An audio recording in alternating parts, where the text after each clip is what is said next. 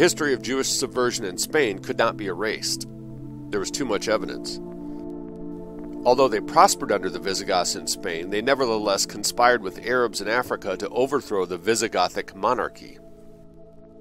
At the beginning of the 8th century, they used their contacts with African Jews to prepare the invasion of the Mohammedan Berbers from North Africa across the Straits of Gibraltar. In 694, the 17th Council of Toledo proclaimed, quote, the impious Jews dwelling within the frontiers of our kingdom have entered into a plot with those other Hebrews in regions beyond the seas in order that they might act as one against the Christian race. In 852, the Annales Bertinianos described the loss of Barcelona because the Jews, quote, played the traitor, unquote, allowing the Moors to capture it.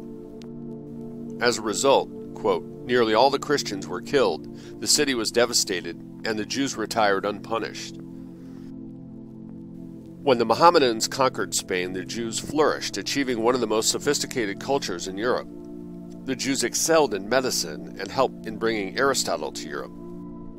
When the Spaniards began the Reconquista, the Jews were not persecuted despite further acts of bad faith. Block quote.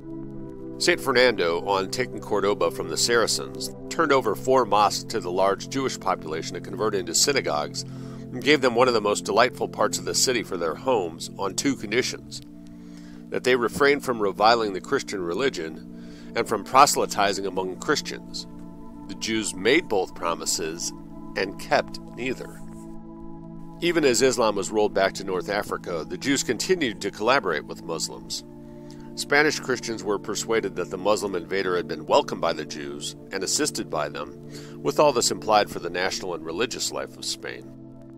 The Judeo Muslim symbiosis that characterizes most of the Arab occupation gives considerable plausibility to the Christian view that in these two communities, alien both in faith and at law, Christendom faced an unfriendly alliance. Much of the civil order in Spain was enforced through canon law, but Jews, because they were not Christians, could not be touched by that law. Quote, the laws against blasphemy, for example, could not be enforced against them. They could encourage heresy, and in defense could claim the freedom of worship granted to the Jews. Jews were therefore allowed to engage in many subversive activities with impunity, which caused resentment. The reign of Pedro the Cruel pointed out a paradox that would recur. The more powerful the Jews grew, the more precarious their position became. Tolerance led to violence against the Jews because the Christian majority felt that Pedro the Cruel had given his Jewish retainers control of the government and carte blanche to oppress them culturally and financially. Jews, Walsh reminds us, quote, were disliked not for practicing the things that Moses taught, but for doing the things he had forbidden. They had profited hugely on the sale of fellow beings as slaves and practiced usury as a matter of course and flagrantly. They were also, quote, much given to proselytizing, even by a sort of compulsion. Thus, they would force Christian servants to be circumcised and urge their debtors, sometimes, to abjure Christ. But the biggest problem was usury. As in the rest of Europe, Christians in Spain were forbidden to take interest on loans, thus granting a monopoly to Jews for a practice which, over a relatively short period, could concentrate all a nation's capital in their hands. Usury was the interface with Christian culture which caused the most resentment. In 1326, the Aljama of Cuenca, considering the legal rate of 33 and a third percent too low, refused absolutely to lend either money or wheat for sowing. This caused great distress, and the town council entered into negotiations, resulting in an agreement by which the Jews were authorized to charge 40%.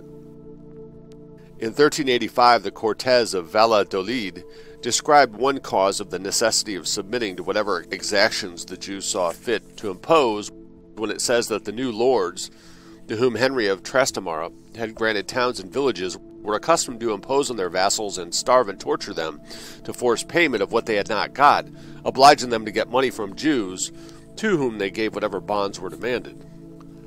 Faced with either starvation or usury, the farmers and small businessmen of 14th century Spain chose usury and watched their prosperity drain into the hands of Jews. As later in Poland, Jews were also hated because they were tax farmers, which brought them into direct and unpleasant contact with a large number of Christians. The church tried to protect her flock from the predations of Jews involved in such activities by reminding rulers that canon law forbade employment of Jews in public office, but rulers, then as now, were too intent on short term gain to consider the long term consequences, which often swept them from their thrones. In 1366, Henry of Trastamara mobilized political resentment against Pedro the Cruel and created regime change in Aragon. When he marched into Spain with an army of French mercenaries, the Jews were the first to suffer. Thousands of Jews were slaughtered. Many more took refuge in Paris, where the same cycle of usury leading to resentment started again. As one of his first official acts, Henry released Christians in his realm from their debts to the Jews. It was undoubtedly popular, but short lived. Henry soon realized that if the Jews were unable to extort usurious interest, they couldn't pay taxes or lend the king money.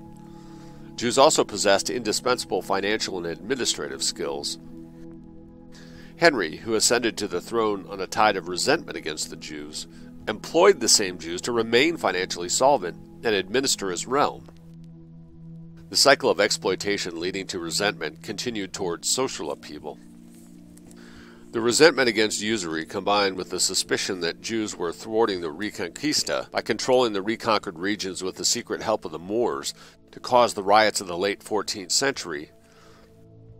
When the monarchs did nothing to curb Jewish influence, the outraged citizens took the law into their own hands. On June 9, 1391, the storm finally broke. The uprising in Seville sacked the Juderia, and 4,000 Jews were killed. Those who were not killed saved their lives by submitting to baptism. The rioting then spread north, first to Cordova, then to Toledo and Burgos, until all of Castile was swept into the vortex of anti Jewish violence. Once a Jew submitted to baptism, he could walk unharmed through the very mob which only minutes before was determined to kill him. The fear of reprisal created an unfortunate spate of forced conversions, which compounded the problem of subversion that led to the riots and forced conversions in the first place. Unscrupulous politicians, seeing in forced conversion a quick fix to a difficult problem, ignored the warnings and created a deeper, more intractable problem. As the storm of anti Semitism spread across Spain, small Jewish communities converted en masse. Given the forced nature of mass conversions of 1391, Kamen writes, it was obvious that many could not have been genuine Christians. As a result, the conversos were regarded with suspicion as a fifth column within the church. Terms of opprobrium were applied to them, the most common being Marrano. The regimen of false conversions in Spain made a bad situation worse. The cynical Jewish converts continued to exploit the situation under the protection of the church, while the sincere Jewish converts lived under constant and intolerable suspicion. By the 1440s, it was clear that forced conversions had not solved Spain's Jewish problem. According to the Acts of the Financial Administration of Castile, Jews controlled about two thirds of the indirect taxes and customs within the country, on the frontier, and at the ports. A whole network of Jewish tax farmers and collectors was spread over the entire kingdom. Their chief was a Jewish tax farmer general who acted as the king's treasurer. The wholesale conversion, says Walsh, seemed to have given to this opportunist type of Jew a chance to eat his cake and have it too. He could enjoy all the advantages of going to Mass on Sunday and going to the synagogue on Saturday. His children were barred from no profitable and honorable occupations. They could marry, thanks to his money, into noble impoverished families, as they would do in England, and succeed to the proudest titles in Castile. They could become priests, even bishops. The suspicions fell most heavily on the cultured conversos of the upper class, who benefited most from conversion by gaining access to offices previously off limits to Jews. The average Christian believed he was ruled by a class of philosophical intellectuals who were nihilists and opportunists with no religious beliefs. Morals deteriorated at the court, and the peasants groaned under their predations. This situation, Walsh says, could not go on indefinitely without an explosion, and unfortunately there were many explosions of the worst possible sort. The mob, seeing the government of Enrique el Impotente, Henry the Impotent, unwilling to do anything to curb the conversos and virtually handing over to them the conduct of both state and church, took matters into their own hands. In one city after another, just before Queen Isabel came to the throne, the conversos were put to the sword and their houses burned. In 1453, after Constantinople fell to the Turks, the Christians feared a resurgence of Muslim influence in Spain, thwarting the Reconquista.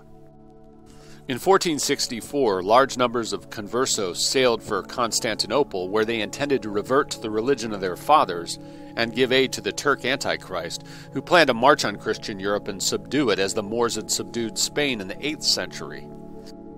Alfonso ascended the throne of Castile in 1467. When Alfonso entered Toledo in May of that year, open warfare broke out between the old Christians and the conversos. On July 2nd, a battle raged in Toledo for three days, during which four streets inhabited exclusively by conversos went up in flames. In 1469, Dona Isabella of Castile married Don Fernando, son of John II of Aragon. Ferdinand and Isabella tried to resolve the civil war that raged throughout Spain. The Jews were initially well disposed to the marriage. The Jews felt that a strong regime that maintained law and order would benefit them, but at least initially, Ferdinand and Isabella proved incapable of ending the civil war. There was also the matter of the Moors, who still occupied southern Spain, and who were suspected of being in league with the Jews. And there were also the recalcitrant nobles, who were a law unto themselves, pillaging and plundering at will. Isabella needed to reimpose law in her kingdom, but she also realized that military conquest was necessary before that could happen. In July 1477, Isabella came to Seville during her stay, which lasted until October 1478, she was subjected to the sermons of Fray Alonso de Hojeda, the Dominican prior of Seville, who, quote, devoted all his energies to making the crown aware of the danger from Jews and false converts.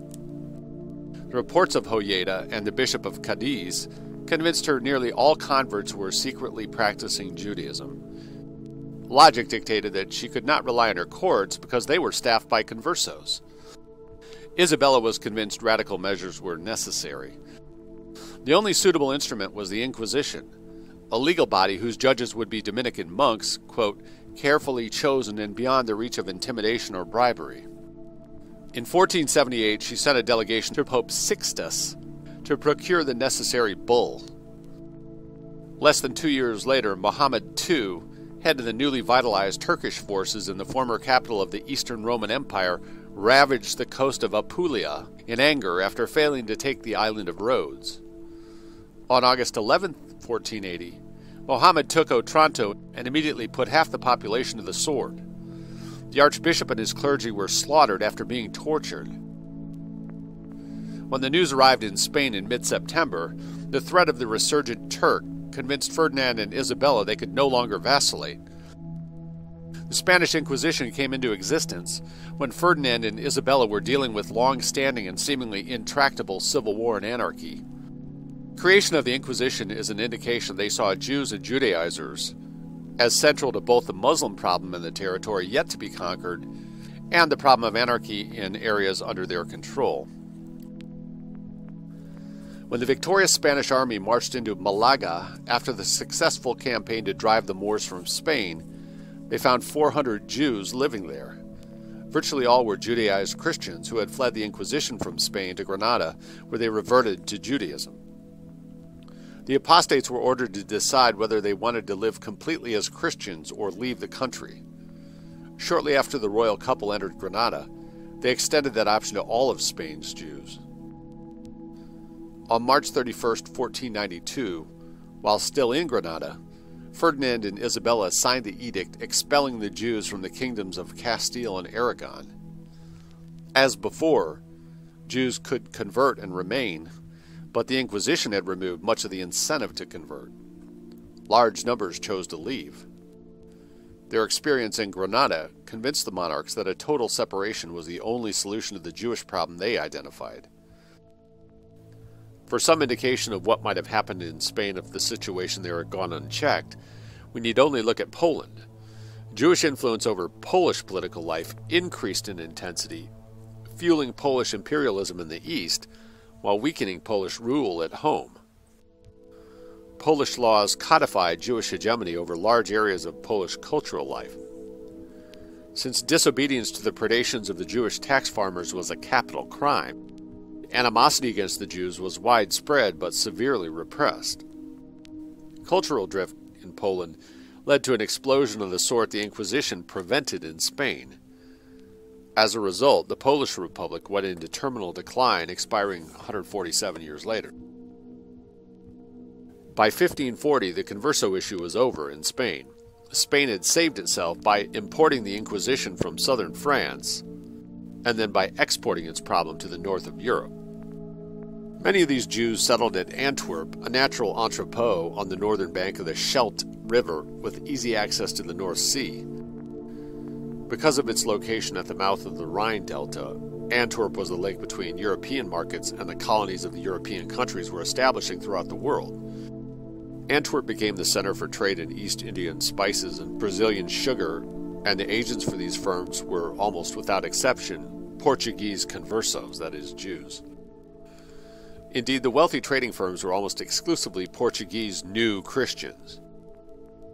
Antwerp became the center of a large mercantile network that included Jewish communities in Lyon, Ferrara, Rome, Turin, Venice, and Ancona, and extended to Ragusa, Salonika, and Constantinople in the eastern Mediterranean, and south to Suez and Cairo in Egypt, the line of the overland trade to the Indies. These Jews functioned as a sophisticated spy network that, quote, quietly kept the anti Spanish, anti Catholic forces of the world informed as to naval, military, and commercial happenings in the peninsula.